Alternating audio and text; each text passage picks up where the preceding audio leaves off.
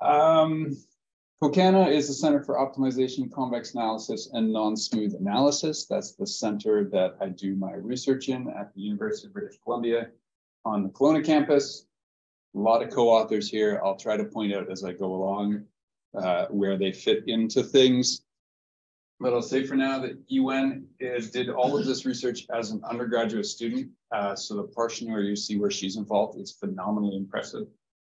Uh, Gabriel Jarry-Bolduc has actually visited here before, so you may have met him. And I don't think Chayne Planiden ever came to Montreal, but certainly some of you have met him at conferences. And Chayne's now a professor at uh, Wollongong in Australia. I think looking too much. I don't think I actually need to tell you what derivative free optimization is in this crowd, but I'm going to start with a black box optimization problem anyhow, and then we'll just fast forward to the part where I explain what DFO means. So in this particular problem, this is a problem from medical physics. So what we're looking at here is a hunk of gel, this, this tube, and a laser that gets shined through the gel and a bunch of detectors on the back row. You take the gel and you shine the laser through and you see how much light gets through and you rotate the gel over and over and over again. And doing that, you can build a 3D image of the opacity of the gel and how it's shaped. This is super important because what they do with MRI machines, um, sorry, with radiotherapy machines, is before they use them on a patient, they use them on gel. So every single time a cancer patient is coming in to get radiotherapy, the first thing they're going to do is they're going to take the machine, they're going to put the treatment plan in, they're going to use it on a tube of gel, and then they want to check if the gel reacted as predicted. Okay, because these machines are wildly dangerous. They're literally designed to kill small portions of your body. You want to make sure the portions you kill are the portions that you're trying to kill. So uh, the hospital, they do this with every single patient. So they need to be able to do this effectively, quickly, and accurately. So that's what the medical uh, part of the medical research group does at UBC Okanagan. And in 2001, Andy Ogilvie, PhD student, created a simulation where he tried to figure out the best design for a new detector. They finally got the budget to upgrade things, and so he wanted to make it work well. His design is partly based on simulation software done by an undergraduate student that left several years earlier, and partly his own code. So it's a mix of stuff he really grasps and a mix of stuff he does. The code shoots in a laser, figures out all of the refractive indexes every time it hits one of these boundaries, and then determines how much laser light, if you put in a blank slate, would hit each detector. What you want is every detector to get a minimum amount of light and every detector to get roughly an equal amount of light. So he measures that with three different metrics, each one between zero and one, and you want to maximize the sum of those three metrics. So that creates this problem where he has a number of parameters to determine where things can go, and that gives you the shape of that acrylic block you saw. And you want to maximize the quality of the acrylic block. Now, he wasn't quite happy. He did that and he found out that it's very, the simulation is very unstable. Moving, getting the measurements off by a millimeter could change the quality by 0.1. So he threw in the second part where he said, I actually want the robust maximum. So I want the maximum of the minimum of the acrylic quality of the block over all blocks within a radius of epsilon of x. So you can see you have a a nested problem. This part right here, we're treating as a black box. What's Z uh, compared to X? Z, Z is in the ball of radius X, so we're taking the minimum over all of those. Because of this part, this is a fairly slow computation. Just computing the quality is quick, but to compute the, the minimum over a ball of radius epsilon, the simulation he built samples lots of points in the ball of radius epsilon and takes the minimum of those points. Can't remember how many points, but the end result is the simulation takes uh, 30 seconds, I think, to finish. To get one, you pick one value of X, it gives you an output. All right.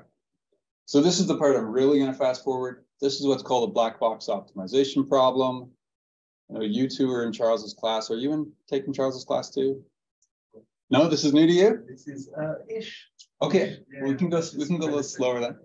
So black box optimization is any problem where part of the optimization objective function is a black box. We can't look into it. We can't figure out gradients and Hessians. We can't pull it apart and, and treat it like it's got special structures. It's just, I give this simulation a number and it outputs a different number. I give a vector, it outputs a vector. This particular problem has five variables, which for a non-black box problem is a trivially small problem, right? Five variables, you could probably take the gradient by hand if you had a five variable function. You could write the Hessian on a sheet of paper, and then you could use Newton method. Boom, be done. But with a black box problem, we can't do any of that. And so it actually five variables is fairly wide. And every time you want to get a function value, you're looking at 30 seconds. So if you want to say, I want a thousand function values, you're looking at 30,000 seconds, right? That's 10 hours of computation time. That's a long time. uh, derivative-free algorithms, which is what I'm going to talk about today, and is the main focus of my study over the last research over the last um, five to 10 years, are optimization algorithms that don't explicitly use derivatives. These are obviously ideal for black box optimization. However, you can apply them to anything you want. Not necessarily a good idea. If I give you a linear program, you could apply everything I'm about to tell you, and you would get crushed if somebody else came along and did the simplex. Okay?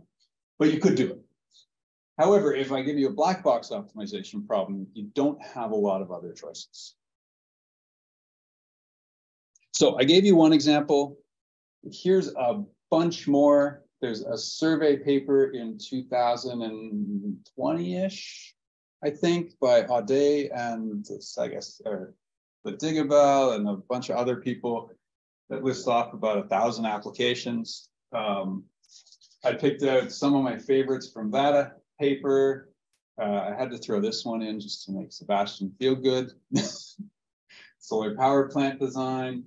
Um, the helicopter blade is an interesting one because this is to my knowledge, the first published application of black box optimization.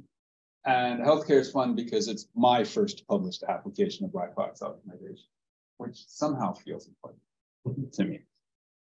Okay, if you want to see applications, I can give you a copy of the survey paper. There's huge numbers.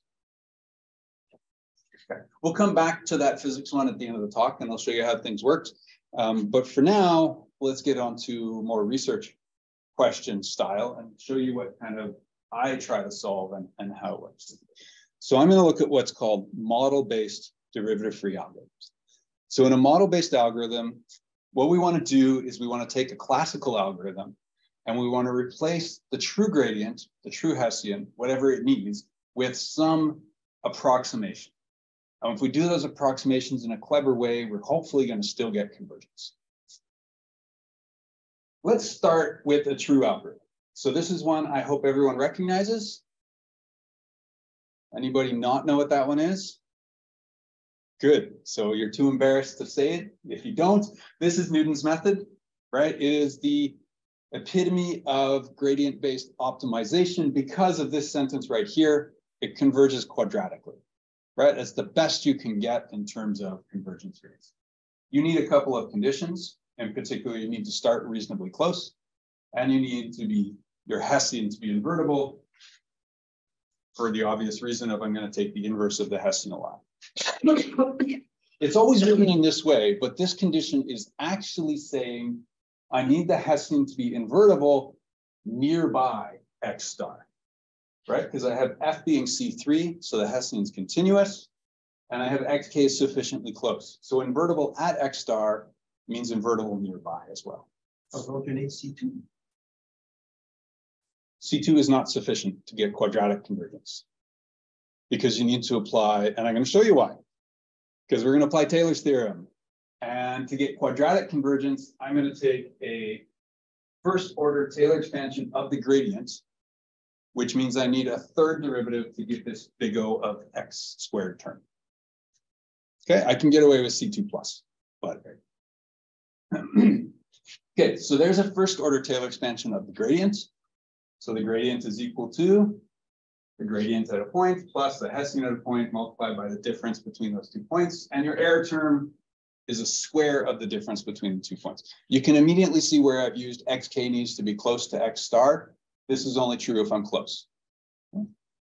I'm taking my Taylor expansion at x star, or sorry, at xk to approximate f, the gradient of f of x star. But I know the gradient of f of x star is zero because that's the solution. So making that zero, this says the norm of the leftover term is less than or equal to some constant times that difference squared. All right, so that's going to be our powerhouse. Now let's take a look at x star minus xk plus 1. Replace xk plus 1 by what it actually is. Factor out the inverse Hessian. Use the Cauchy-Schwarz inequality. And boom, you have this norm is less than or equal to some constant multiplied by x star minus xk squared. And that is the definition of quadratic convergence. Wow, that's it. One, two, three, four lines. Taylor's theorem plus four lines, you get quadratic convergence. You don't get shorter proofs. what if I replace all of those gradients and all of those Hessians with approximations? That's what I question I'd like to ask. That's the, the driving force of the research I do. What if I replace everything with approximations? Do things still work? So we're going to need a little language here. Uh, we're going to call F tilde delta uh, model, and we'll call a group of them a class of models. So the idea is you give me a point that you're interested in building a model at, you give me a delta, and I give you a model. The point of interest has to be something you know, because you're giving, I'm giving you the model for that point of interest. So our point of interest is always going to be xk. And a good model, as delta goes to zero, the model should become more accurate. That, that's our control. We want to be able to say things get better. However, we want to be able to be honest about it and say, we know it gets better, but we don't know exactly how better. And so we bring up this idea of order and accuracy. So this looks similar to those Taylor results, in that I've got the difference of two things is less than or equal to a constant multiplied by something to a power of n, delta to the power of n. So delta is my, my control parameter. I can push that to zero. And as I push that to zero, delta the end will go to zero. And I even know how fast it will go to zero. This kappa f or kappa g or kappa h, I don't know what those values are, but I know they're constants. Okay, so in Taylor's theorem, those values are linked to the maximums of the derivative below whatever derivative you took things to. We're gonna have similar results later, but for now, it's just this concept of I don't know the actual value, but I know it's constant as long as I don't change x. And that is what I'm gonna call order n accuracy. Function, gradient, and Hessian are self, self-apparent as to where they went. Okay, you can do it at X, or you could do it near X by just saying, I need those conditions to hold in some ball nearby. In this talk, we're just going to focus with at X. That's actually all we're going to need. It turns out that's all you really need for most things. so let's take Newton's method. Let's replace our true Hessian with an approximate Hessian. So I have a model. And let's replace our true gradient with an approximate gradient. So I have a model that gives me that information. I still need xk to be sufficiently close. That's not a big surprise. Instead of the true Hessian being invertible, now I need the model to be invertible. And actually what I used in the previous proof was that the norm of the true Hessian was bounded above nearby. So I'm just going to assume that straight out. The norm of the model's Hessians are bounded above as long as xk and delta k are sufficiently close. So this measure is isn't it the um, conditioning of the matrix? This guy? No. Or something that is the It could be. So I, right now, I haven't told you how I'm building the models. And so I don't want to talk about condition numbers and stuff, but if I build the models in the way that I'm going to by the end of this talk, then it's great. Okay. Okay. I'm going to want the models to give me some level of accuracy. It turns out what I need is order two gradient and order one Hessian. Okay, and you'll see in the proof where that numbers come from. And I'm going to assume those constants are bounded above. Again, I don't know what they are, but I just want to say that as I get close, they don't shoot off to infinity. So I want my models to remain accurate no matter how, what, what k is, what xk is. And then I got this last condition, which is a little technical, but it's saying the accuracy of the model is linked to the distance you are from the solution. So the closer you get to the solution, the more accurate model you need to have. Okay, we're just going to leave that one as technical. This is the type of thing that you would check uh, in your algorithm by looking at things like x minus xk plus 1 to get an approximation of this, and then check that delta was sufficiently small, or some other technique. But for now, we're just going to use the, the brute force of what we need. Here's the old proof. I had to shrink things. All I've done, so that line's exactly the same, right? That's Taylor's theorem still. These three lines don't change except for the fact that everywhere there was a function, there was a model. And I can get all the way down to here, and then I get stuck because this is not this. And this is not the Hessian, it's the approximate. This guy's okay though, because I've already got an assumption that says this number is bounded. So I'm going to be able to get rid of that easily enough. And this guy is going to disappear just by pulling in my gradient and Hessian accuracy. So these are my accuracy assumptions. And I just do my classical technique of add and subtract the truth. And then you can say, well, due to the accuracy assumption, this distance is small. And this distance is small, so I'm good there. This distance is small from our previous proof, and there it is.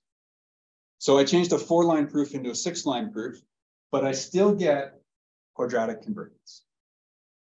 Okay, I had to put a lot of assumptions on the models there, but I still got quadratic convergence without using the actual gradient or Hessian. That's a pretty amazing result in my mind, especially for six lines.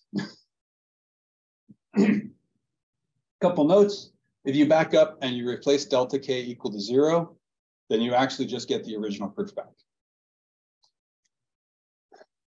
I'm not using any second order information, but I got quadratic convergence. That's a pretty rare statement in the world of optimization. Quadratic convergence usually hinges on second order accuracy, having a second order object. This, of course, leads to the big question of, well, that's great, but you made a lot of bold assumptions there. Can you actually tell me a way to satisfy any of them? And that's what I'm going to spend the rest of today's talk doing is saying, yes, yes, I can. We can build these models and we can make this work.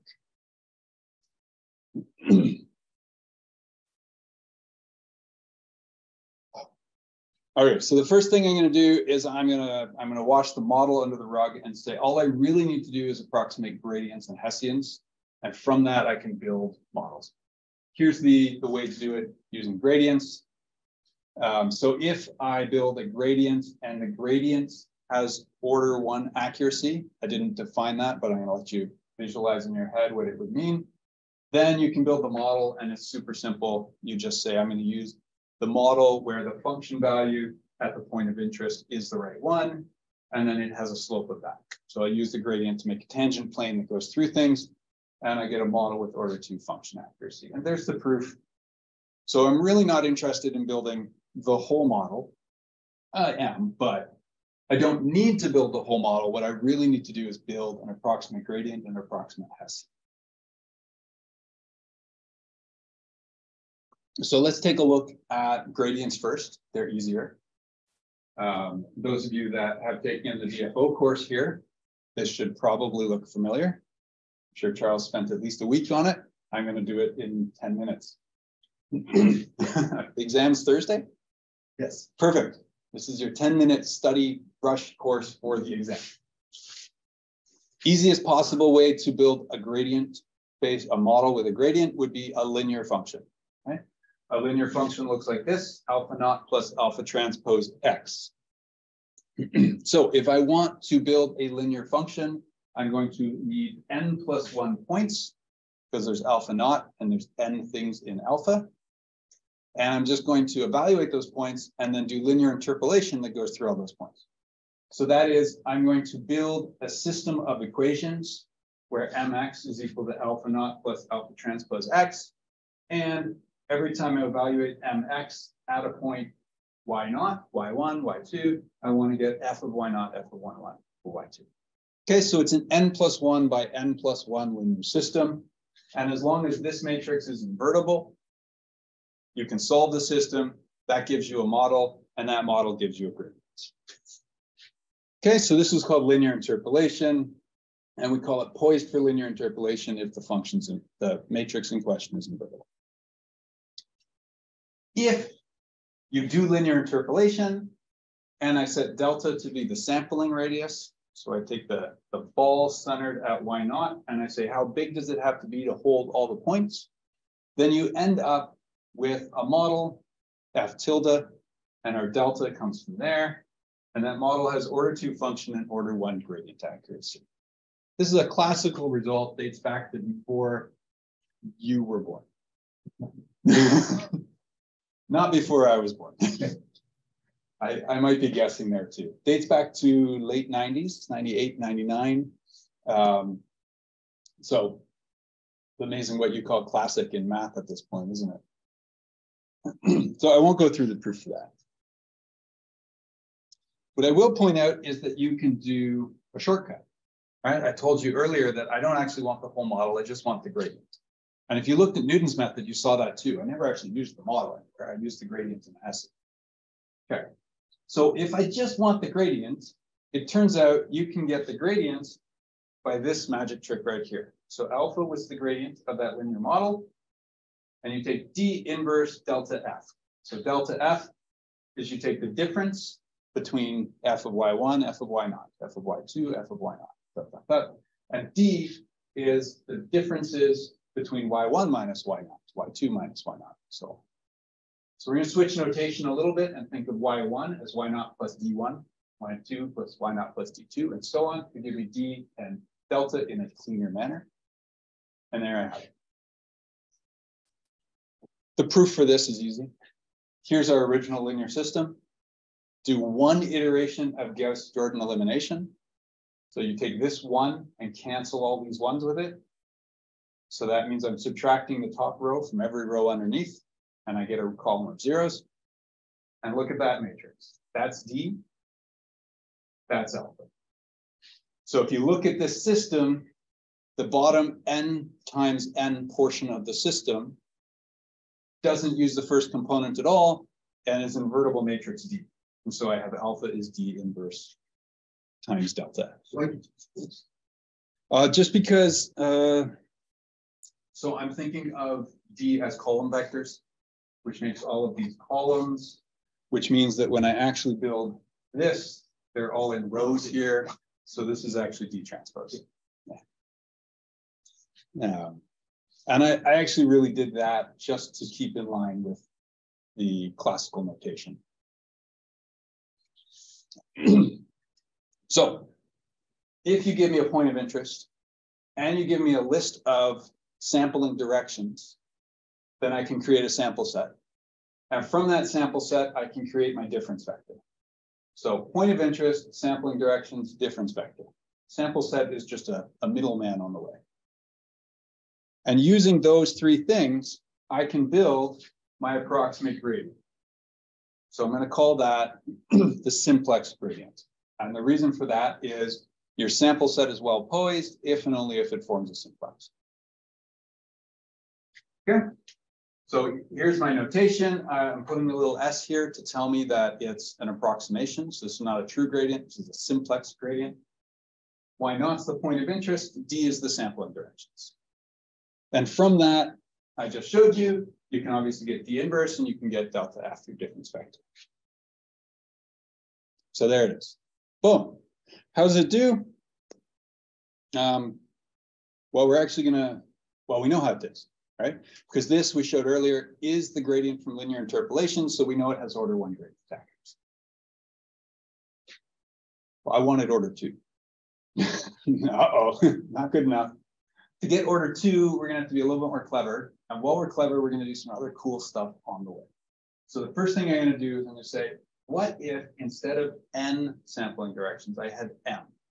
So m could be too many, it's more than n, or it could be too few, less than n.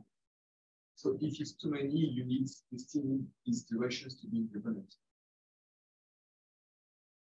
If it's too, no, not necessarily. You'll see. Okay, But you'll see, I, there are gonna be some assumptions in there, but that's not actually one of them, and I can explain the details in about three slides. Okay. Okay. If n is not n, then d is not square. If d is not square, I can't write inverse. Okay, but what I can write is pseudo inverse. So that's the inverse, power of minus one. This is the pseudo inverse. It's a dagger. I don't know why they use dagger for pseudo inverse, but everybody does. And I can replace my approximate gradient with just the pseudo inverse times the difference vector. So I can define this difference vector the same way, and I just change an inverse to a pseudo inverse. If you haven't seen a pseudo inverse before, this is what it is. It is the magic matrix that does these four things. And in particular, don't worry about the four things. What's important to know is that in Rn, it's very easy to compute. In fact, in, in something like MATLAB, where if you wanted the inverse of D, you go I N V brackets D N brackets. You go P I N V brackets D N brackets. It's that easy. The pseudo inverse just puts a P in front of the I. And if you are used to use the power of minus one, Uh, I, I, you should never do that in MATLAB. Well, you should never do that in MATLAB.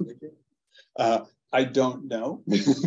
Uh, you changed to PINV, and I, I don't know the name in Fortran or Python or stuff, but I, I do know that there is a command for pseudo inverse in Python and C++, you probably the right library, and, and basically every reasonable programming language, you don't just have to look it up. So now we have what I'm going to call the generalized simplex gradient, and that's what we're going to work with for the next 10 minutes or so. So now we're getting into the answer of Sebastian's question. So if m is equal to n and you're invertible, then you get the simplex gradient back, right? And that's obvious because if d pseudo inverse is equal to d inverse, then this definition gives me this next. So generalized simplex gradients are reasonable now. If m is less than n, then this is the definition of the pseudo inverse. Okay, so you can see why it's so easy to compute. There's a closed form formula for it, and it will actually give you the solution to this problem. It gives you the minimum Frobenius norm um, of the vector g. So this is the gradient you're looking for that solves the problem. So we have too few directions. So there's more than one answer. So it takes the easiest one. Are you that? It's a bit far for me, but I, I remember, I kind of remember that when you have more uh, more rows than columns, so it means, uh, So this is, this is because I'm doing that D transpose at the end. Right, so it's this transpose here, Ah, okay, messing ah, up your rows and columns in your head. So trust me, I've checked this slide like eighteen times. Think of it as M is the number of sampling directions. So if you have too few sampling directions, but then the sample direction is a column. yes, Okay, sorry, okay. it So will be, yes, N is the number of columns, not the number of rows. right. So it's not the. So everything's, everything's flipped from what you want it to be in your head, yeah. Okay, if n is bigger than n, you have too many sampling directions, which means you might not have a solution, right? You have too much data to solve your problem. When you have too much data to solve your problem, you take the least squares solution. Okay, and it, the d pseudo inverse gives this form and this simplex gradient is that. So in all three situations, you're getting back an object that kind of makes sense. And um, in all three situations, you have a very easy, easy way to find those pseudo inverses. So my question before was about the range. Yeah, and here's where the rank's going to come in. So up till now, I have not had to make any assumptions on rank. Here is where I do. Um, oh, I should have said that as this should say if D is full rank. Did not, I, I didn't define Y as both. It was in before. It was on the previous slide. Was it? At the bottom. Oh, at the very top, D is full rank. At Right. the bottom. Yes, so this formula and this formula need full rank in order to be true. Uh, and of course, you need full rank to be invertible. It's equivalent of your square matrix. And so if D is full rank, you can actually have overdetermined, so too many sample points. And some of those sample directions being identical and still be full rank. All you're doing is you're repeating yourself. Okay. Okay, but- range For the words. Yeah, uh, in that case, yes, it would be full row rank because you have too many points. Yes. Uh, what happens if um, two row, um, two columns are linearly dependent for more than two, but the result is not uh, linearly dependent uh, Okay, so if if you're not, if you have two columns that are linearly independent, then you're probably not full rank. I can still define the generalized simplex gradient. The definition still makes perfect sense, but the result I'm about to show you won't necessarily be true. And this is the result that matters. so you don't want that to happen, but technically there's nothing wrong with it happening. Okay. So if that D is full row rank, then you get an error. So this was first proved in 2008 by Custódio, Dennis, and Vicente. Uh, what I'm showing you though is the 2015 version because I really liked Regis's presentation on this. What he says is the error between your simplex gradient and the true gradient is not actually what you want to look at. What you want to look at is the error between the simplex, the projection of the simplex gradient onto the span of D and the projection of the true gradient onto the span of D. So D is your sampling directions. If you've only sampled in a subspace, then you project everything to that subspace. If you've sampled every direction in Rn, then your projection doesn't do anything because the projection of something onto Rn is itself. And then you get an error bound. So you get the square root of the number of points you use, divided by two, the Lipschitz constant of the true gradient, and you get this condition number of the pseudo inverse. And then you get a delta. What's important here is that as delta shrinks, those first three terms are going to stay the same. So as delta shrinks, I can make my error go to zero in a controllable way, right? Here is my kappa g, and there is my delta to the power of one. So this generalized simplex gradient provides order one gradient accuracy on the subspace that you have sampled in. Outside of that subspace, you can't say it. And it's actually super easy to make an example that shows why you can't. But I wanted order two. Uh-oh. So let's get order two. How do we get order two?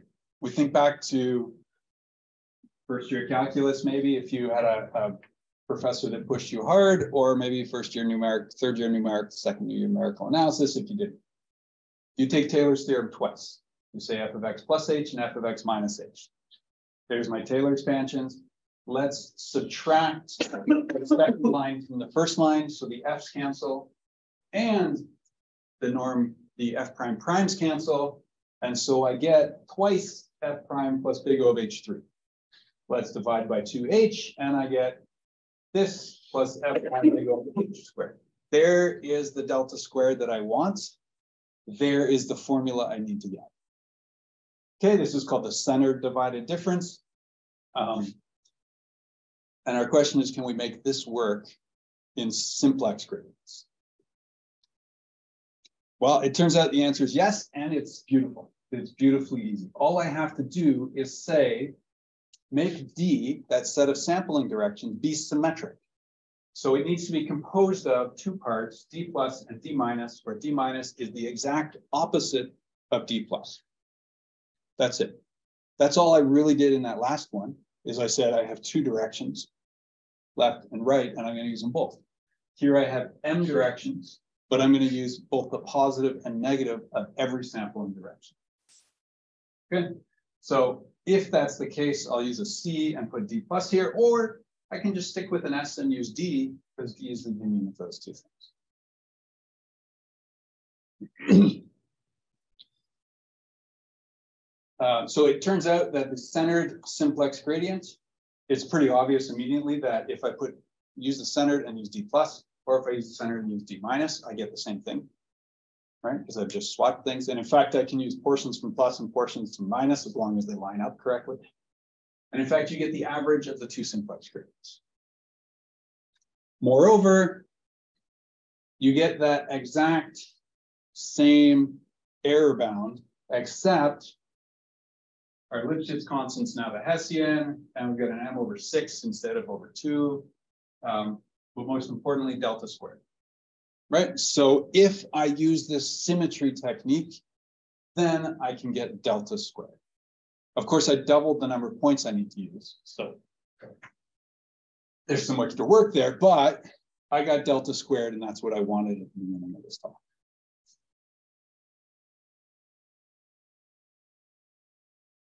Questions? Where's my clock? All right, I'm going to take a tiny detour in fast forward. We're coming a little short on time. Um, this is just fun research. This is the part by Yuan. I asked her, what if I give you D plus, and instead of giving you D minus, I give you something really close to it, but not quite it. Uh, so this wouldn't necessarily happen in MADS, but imagine you've got some subroutine in MADS for the people who are familiar with it. And that subroutine has to round things to the mesh. And in rounding things to the mesh, you get things off a little bit. Okay. Doesn't matter why we're off a little bit, but the question I posed her was if I'm off a little bit, what happens?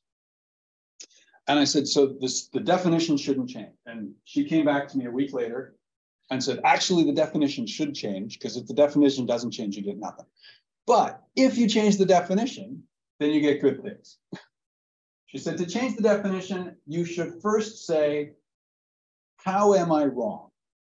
So this D tilde is supposed to be negative D1, but perhaps it's too long or too short. So you have a stretching factor. And perhaps it's wiggled a little bit in some direction or another, so you have an angle, theta i.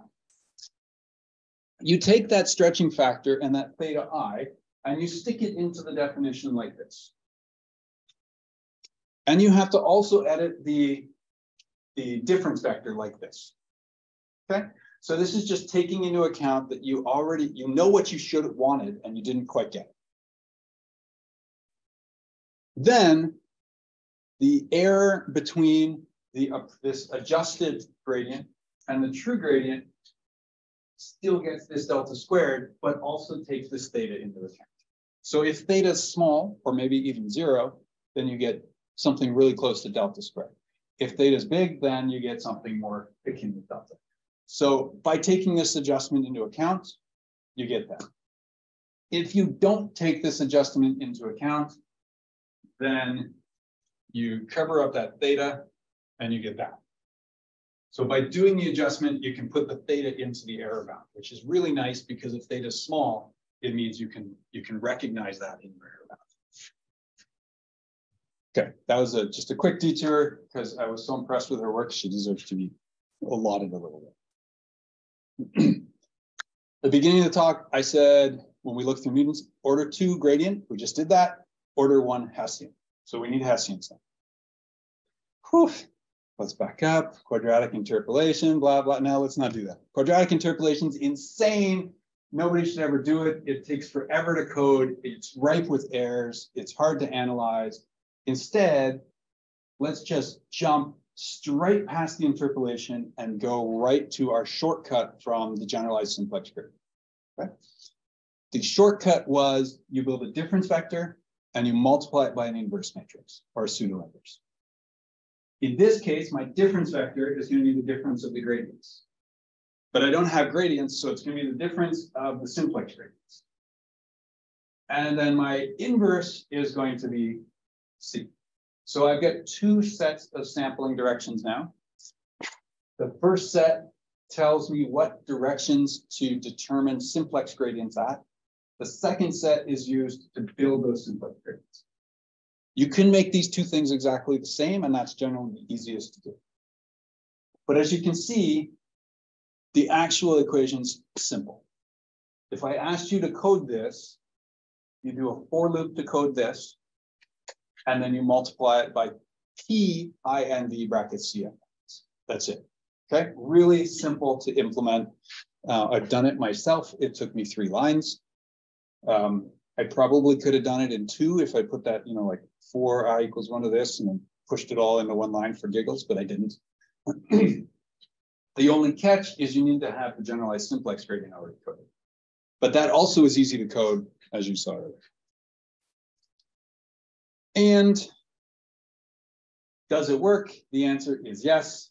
You get an error bound that looks exactly like what you want it to look like. So if you have C and D both be full rank, then you get a constant, you get that condition number from C, the condition number from D, and delta. So order one Hessian accuracy. Moreover, if C and D are both symmetric, so you need symmetry on both levels, you can actually get order two Hessian accuracy. But since you're actually multiplying the number of points in D by the number of points in C in order to figure out how much you're evaluating, this, this is going to be a lot of work. Um, and I will say, um, things get more complicated when C and D. So I've made in this case over determined, right? So I have at least I'm sampling in all of Rn in both C and D. In the underdetermined case, things get complicated because you could have one thing D not sample in Rn and then C sample in all of Rn. And what is that going to do and stuff? Uh, we do have some results on that, but it's too complicated to throw into this talk. And I wouldn't say it's fully understood. Okay, so now we can do it. We can get order two gradient, we can get order one Hessian. Let's go back to that simulation and let's give it a try. So quick reminder, this is the problem. Maximize the quality of a new, um, new solid state tank design. So uh, in 2015, when the first round of simulation was built, they used it to make a solid state tank. And they did that just by Professor Jirasek sitting down with his students and saying, I think these parameters will work best. And they plugged it in and they were happy with the number. Okay. So we have a 2015 design, which was made by Expert Intuition. in 2021, I think, uh, when Andy finished his first simulation, he said, aha, I know how to optimize this, grid search. Everybody remembers grid search? Everybody remembers what uh, Dr. Audet says about grid search? Like that. Um, but he did it uh, five by five by five by five by five grid. Okay, so you can multiply all that out and you get somewhere in the thousand-ish function evaluations. So it, it takes overnight to finish. Um, shortly after that, my master's student, Dominique, had developed a piece of software where he was trying to do was figure out a method to automatically detect when you should switch from a direct search method to a model-based method, when you think you're close enough and you want that to get that extra oomph in accuracy. So he had this coded up and um, he gave it a try. So it starts with the generalized pattern search and it ends with Newton's method and it has this kind of automated switching procedure to determine when to make that switch. And here are the results. First off, 2.84. So that's the original design. That's pretty good, right? And we got a score that goes from zero to three and we're maximizing. So 2.84. Expert intuition in this case was solid. Um, grid search did ever so slightly better than, uh, than the intuition, but not really. Grid search, so water, flexidose, and Clearview are three different uh, types of gel that you can put between the cylinder and the plexiglass, and it causes different refractions. So you end up with the same problem or a similar structured problem with different solutions due to tiny tweaks. Um, and you can see in the grid search, it bombed on the water, 2.5. Uh, Dominique's derivative-free method did better in every case and did noticeably better with Clearview. So the big question that Dr. Jirasek really wanted an answer to is, should we flick change from Clearview to FlexiDose, FlexDose 3D, this new gel that came on the market? Um, and he's decided the answer is no, not because this number is bigger than this number, but because this is 10 times as expensive as this one. And so he was only going to switch if this number was significantly bigger than this number. Can we build a new tank that's better than the current one? There, the answer is yes. It's always a little hard to gauge these things. If you think of this as a number between zero and three, then it doesn't look like much improvement. But if you think of this as, well, I can throw a dart and get 2.4 or 2.5, um, so if we think of this as a number between 2.5 and 3, this is a big improvement. So the good news is they built the new uh, device and, and it works well. All right, so uh, what I've talked about today is order and accuracy and how it provides a language to discuss gradient and model quality, um, and how you can use that language to develop proofs of convergence without even telling me what the models are. So I think that's a really nice property, separating the how are you building the models with the how are you making things converge, because they are really separate processes. I talked about the simplex gradient, generalized simplex gradient, generalized centered simplex gradient, adjusted centered simplex gradient, and generalized centered, generalized simplex Hessian. Huh. Basically, I showed you a bunch of ways to approximate gradients and Hessians, and I showed you the type of error bounds that you can get.